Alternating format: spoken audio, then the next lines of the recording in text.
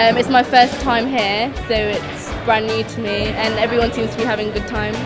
Yeah, it's been a really good day, fantastic enjoyment. Really recommend it to anyone who's thinking about coming down and playing.